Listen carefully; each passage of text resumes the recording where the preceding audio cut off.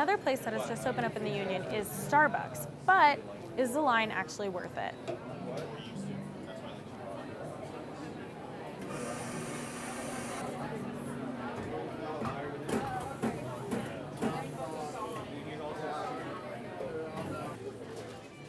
I think it's worth it, but let's see if other people do.